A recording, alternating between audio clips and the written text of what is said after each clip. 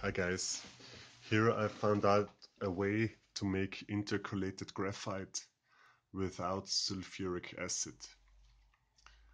So I used uh, this graphite rock, put it into magnesium sulfate and a little bit of uh, kalium alaun. It's like this. As Robert told before 2 volt and then 10 volt and leave it for some hours and you can see it's getting dark black. This is the result after I, uh, I tried it and now look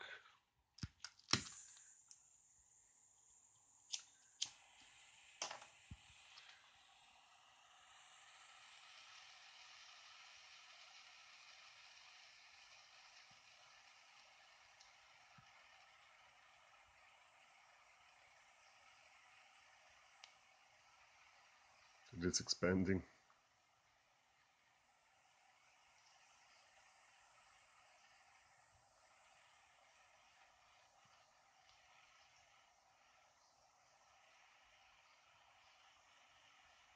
quite nicely.